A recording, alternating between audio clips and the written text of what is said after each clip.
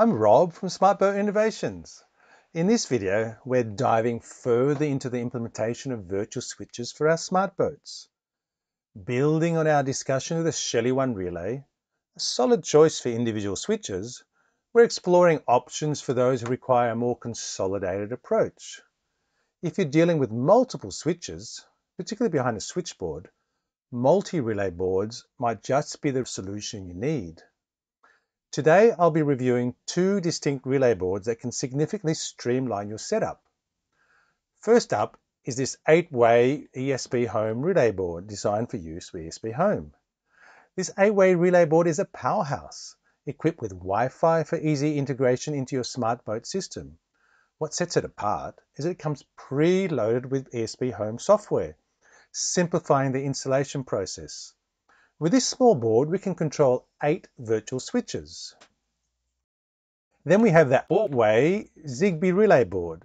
This four-way board is neatly encased and features physical buttons offering a tactile option for control alongside virtual switch functionality. Incorporating Zigbee devices into our smart boats is a straightforward process, mirroring the ease of use we've experienced with other Zig devices like the Bilge water sensor. Both boards offer unique benefits. The 8-way ESP Home Relay Board excels in scenarios where Wi-Fi connectivity is preferred or required, and where a high number of channels is beneficial. It's preloaded with ESP Home software makes for almost a plug-and-play experience, reducing the technical barrier to set it up. I've been using a similar 8-way relay board on my smart boat for over a year, controlling six switches 24 by 7 without any issues. Initially, I chose a cheaper version that didn't come pre-flashed with ESP Home, requiring me to buy a USB to TTL converter and manually flash it. This process involved connecting many small cables and button presses on the board, which was quite challenging. Based on this, I'm going to recommend going for the pre-flashed version to avoid the hassle, even if it costs a little bit more. It saves time and simplifies the setup significantly. The four-way Zigbee relay board is great when physical controls are desired in addition to smart control capabilities. Additionally, it's an excellent choice due to its encased design, eliminating concerns about dust or exposed circuit boards. In this video, I'll show you how to wire up each board and I'll guide you through the steps to get both relay boards hooked up and working with Home Assistant, making sure you can control everything easily from your smart boat with just a few clicks. So let's get started.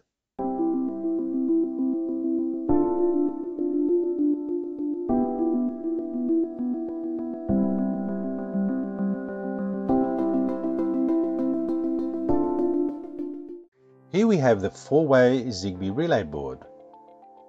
This relay supports a power supply range from 7 to 32 volts, or can be powered via a micro USB connection. On the front of the unit, you'll find four physical buttons, one for each relay, offering a convenient manual control option.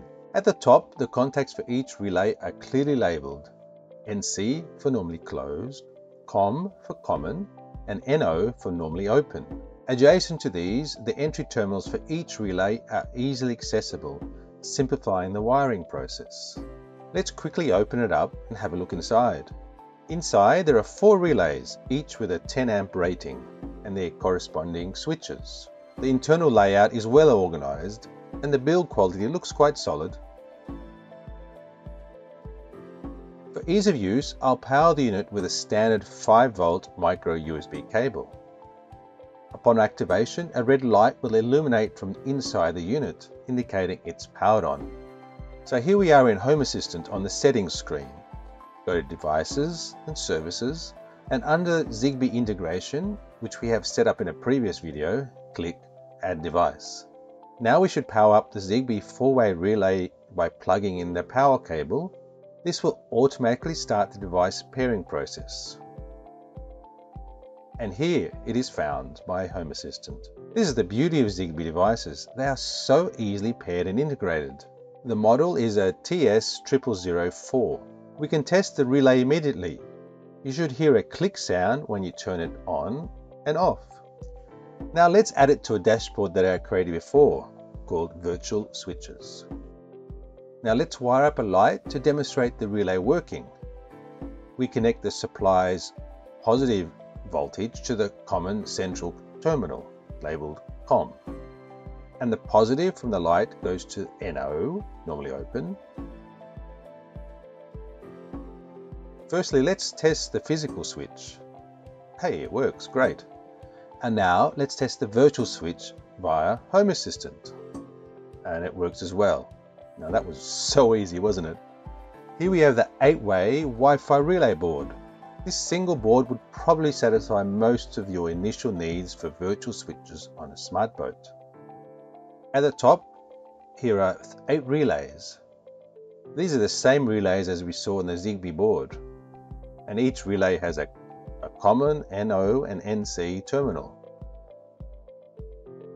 You can power this board with 5 volts or a voltage in the range from 7 to 28 volts. The central power terminal is the common negative, and on either side are the two different positive options. I power mine directly from a fused 12 volt DC supply. When you turn on the power, a few lights will turn on the board. This unit is pre-flashed, so it will start up a local Wi-Fi access point. So on our PC, we need to connect to the access point. Select the at-home relay board network and connect. This will auto start a local web page to configure the board. On this page, we just need to select our smart boating Wi-Fi network and enter the password. This will then create the ESP Home setup within Home Assistant automatically for us. So back in Home Assistant, you should see a notification that a new device has been discovered. Or just head to Devices, Services and Integrations, and you will see the discovered device. Click on Configure, and this will set up an ESP Home device for us. Now let's go to ESP Home from the left menu, and here we'll find our device. And we just need to adopt it into ESP Home. You can copy this encryption key, but in reality it will be all set up automatically for us. Now it will download, install and configure the board. This will take about 7 minutes, but I'll speed it up. There will be pages and pages of messages, but as long as there are no errors in red, it should be fine. At the end, you'll see a success message in green, and then it will try to connect OTA over the air. If you stay on this screen, the logs will be displayed. The beauty of this pre-flash board is that we do not need to touch any ESP Home YAML. But let's go back and test it out. Here you can see the relay board is successfully online.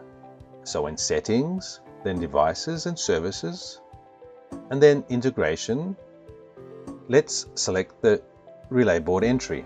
Here you can see the in-depth device info and also the eight virtual switches that have been created. We can try a few out. You should hear the relay click. We will also add all of these switches to the same virtual switches dashboard. So back on the board, we will connect up the test light to the relay. This is the same as we did in the ZigBee relay board, so I'll speed this part up. And now let's test it with the dashboard. I always like this part.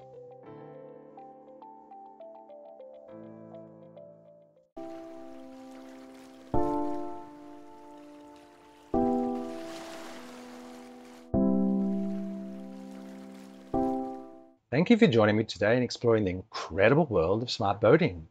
If you found this video helpful and informative, I would appreciate if you hit the like button below. And if you'd like to stay updated with more exciting content on boating and technology, consider subscribing to my channel by clicking the subscribe button. Your support means a lot and helps me create more valuable videos like this. Until next time, hasta luego!